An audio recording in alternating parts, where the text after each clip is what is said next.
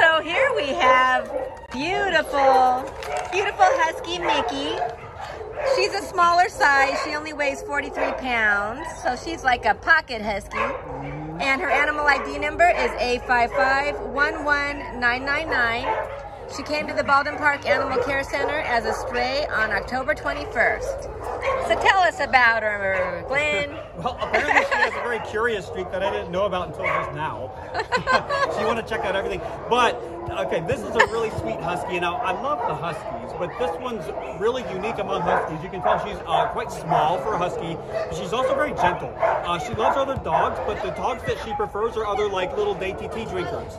She wants to hang out and socialize, but she doesn't necessarily want to roughhouse with the other dogs. So we recommend calm dogs if you have other dogs in the house.